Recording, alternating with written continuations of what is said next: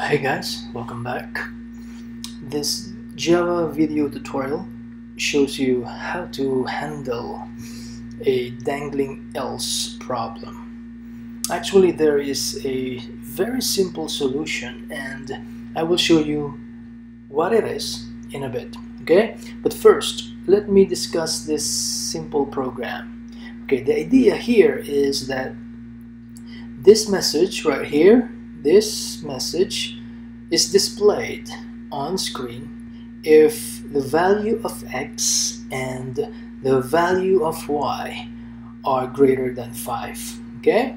And this message down here is displayed if x is not greater than 5 okay so first let me assign values to x and y that are greater than 5 okay?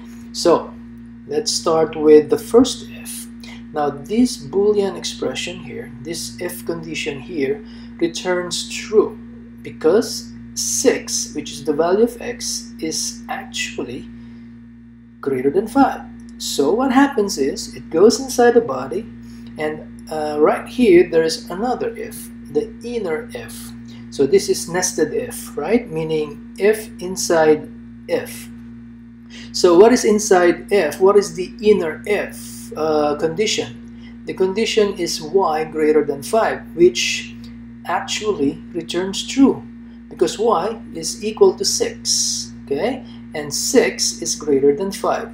And so this statement here is executed. So when I run this code, I would say, I would see the, uh, the message x and y are greater than 5 so just to make sure let's run it and voila I was right right?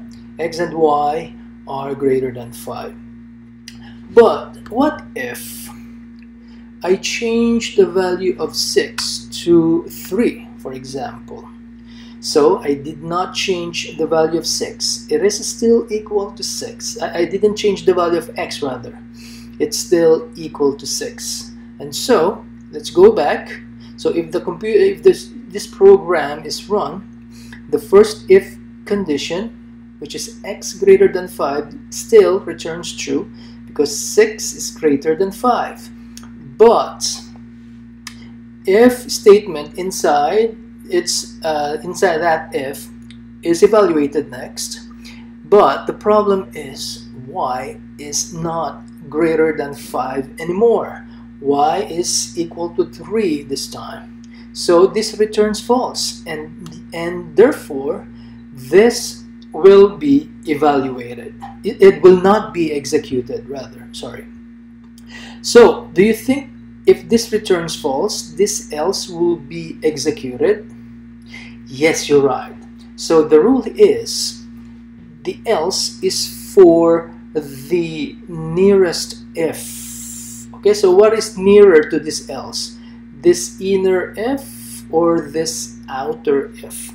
Of course, the nearer. It's closer to this else. So therefore, since y is equal to 3 and 3 is not greater than 5, so this boolean expression will return false and therefore this will not be executed.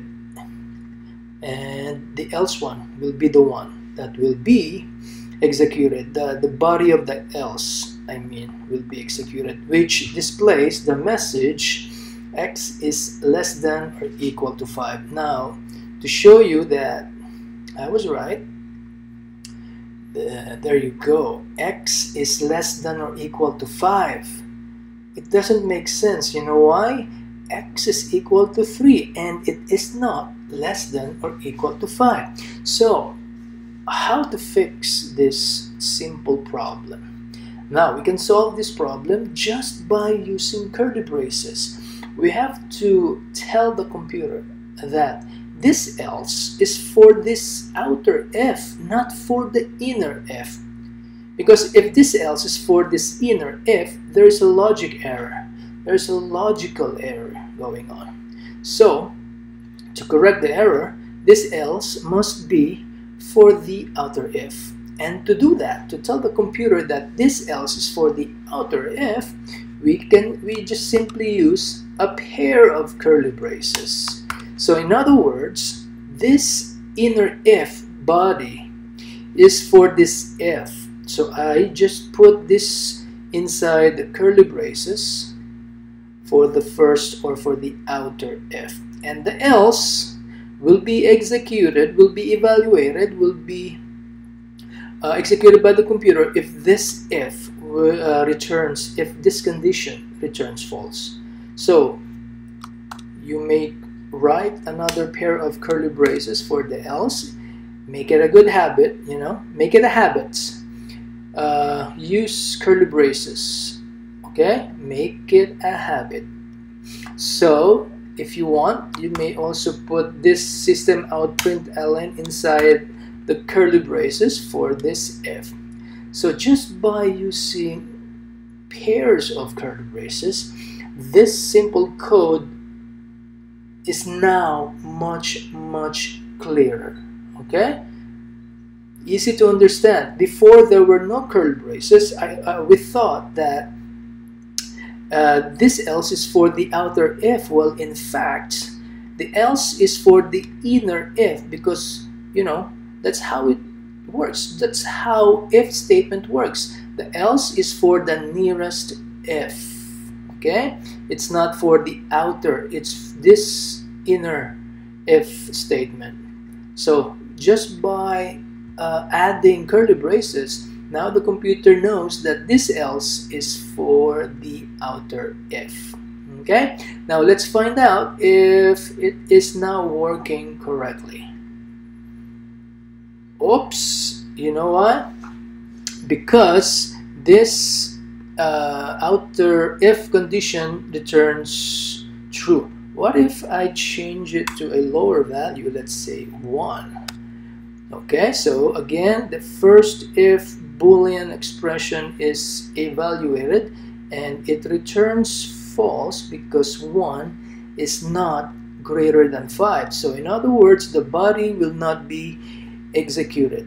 Okay so it goes to the else to, and it will uh, execute the the body which uh, which displays x is less than or equal to 5 let's find out if this is working this time. Exactly. So x which is equal to 1 is less than or equal to 5 correct.